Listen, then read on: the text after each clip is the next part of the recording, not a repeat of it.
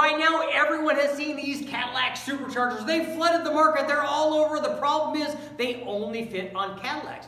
Until now, thanks to the guys at Mac Daddy Parts, they produce adapters and all kinds of billet goodness to allow us to install this Cadillac supercharger on an LS. The question is, do they work? In this video, we're going to install this Cadillac supercharger on our 4.8 liter LS motor. But shh, don't tell the supercharger. It doesn't know. It's not on a Cadillac.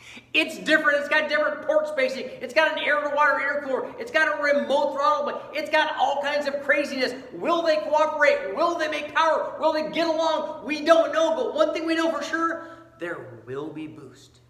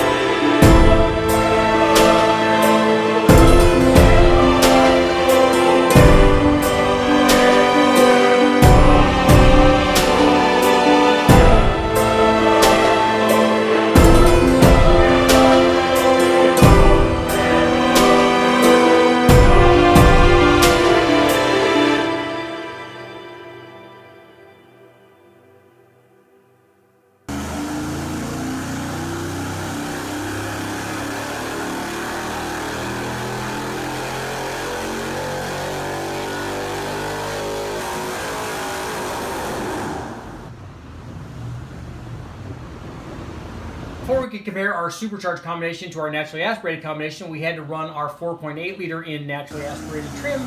This combination was the same motor I've used for lots of stuff. It was a stock block, stock crank, Gen 4 rods, and JE Forge small dome pistons. It had about a half point higher compression than stock. It had a set of 706 heads that were all stock. They did have a valve spring upgrade. We had hardened push rods in it. If you watched the push rod video, this is the motor that we used to run that. We had stock rockers on here, the stock truck intake, stock truck throttle body, and a set of inch and 7 eighths long tube headers with collector extensions. We ran all of this with the Holley HP management system.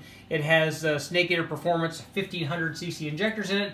Not that the NA combination obviously needs that, but we wanted to have those in there so that we, when we ran boost on it, we had enough fuel flow, and when we ran E85, we would need even more, even though we weren't going to make a ton of power with any of these combinations, we wanted to make sure that we had enough fuel. So we ran this combination, naturally aspirated, and our little 4.8 produced 401 horsepower and 368 foot-pounds of torque. And here's what happened after we installed the supercharger using the adapters from Mac Daddy Parts. And we started off with a very conservative timing curve. What we did was we ran this thing on 91 octane pump gas, and as you can see from the curve here, we picked up a ton of torque. I mean, these were gains down low from 347 to 502 foot-pounds. So we gained a ton of torque, but the gains kind of level off out of the top. And the reason for that is that we had very little timing in this thing. We had about 10 degrees back here in the 3,000 to 3,500 range. 10 degrees of total timing, and then we only had about 15 degrees out here at the top. So run with this pump gas tune and only of about 15 degrees of total timing. This combination produced 487 horsepower and 512 foot-pounds of torque on pump gas. But after running this, what we did was started turning the timing up like one degree at a time because we wanted it to be safe. Here's what happened when we ran it at 16 degrees. It produced 497 horsepower. Torque was about the same, 512 foot-pounds of torque. And then we added one more degree. That brought it up over 500, 503 horsepower, and 514.6 foot-pounds of torque. As you can see, as we were adding timing, eh, pretty normal. We increased the power output, but there's only so far that you can take this on pump gas. Now out here at the top of the RPM range, um, you're going to need more timing. In here near the torque peak at about 4,500 or 4,600 RPM, that's where you want to be concerned with your timing numbers. And down low here too, because there's a lot of load down here at 3,500 RPM with full boost. This is about 11 pounds of boost, slightly over 11 pounds of boost. So you want to be really careful with your timing down there. That's why we lead in with about 10 or 11 degrees of timing and then we increase the amount of timing, especially after peak torque. So out here at the top of the RPM range, out near 6,000 RPM, we had about 16 or 17 degrees. And in part two, we're gonna take a look at what happens when we step up to E85 and also what happens when we add extra timing after we add the 85. Okay guys, what do you think about the installation of our Cadillac supercharger on our 4.8 liter LS? First of all, shout out to the guys at Mac Daddy Parts. This system worked great. I mean, all the stuff was chock full of billet goodness, but more important than that, I did like the way that it looked. More important than that, everything worked. It all bolted on, all the holes lined up. I could put the supercharger right on, all the bolts went in. They've scienced everything out. They have one of these kits running in a truck, so we know they work. But what about the power? There's more power to be had. This is only part one. I ran a pump gas tune on purpose.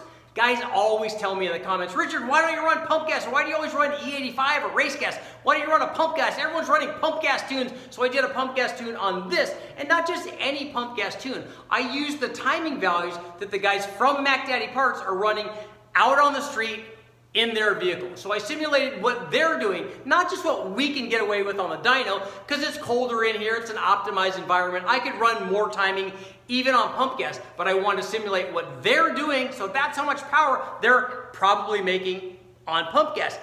This is part one. In part two, I'm stepping things up. We're adding E85. I'm gonna run this timing level with E85 to show much just the E85 is worth. Then we're getting more spicy with the timing and adding even more power. On top of that, I also have throttle body test. I've got the stock truck throttle body versus 102 millimeter throttle body, more air in, more power out, and I tested it at two power levels. As you can see from here, we've got stock exhaust manifolds. I tested stock exhaust manifolds versus long tube headers. Which one of those is worth more power do you think? I've got lots of testing coming up This is very cool. I'm Richard Holdener, make sure to like, share, subscribe, ring the bell, do all that stuff. More testing coming up in parts two, three, and four.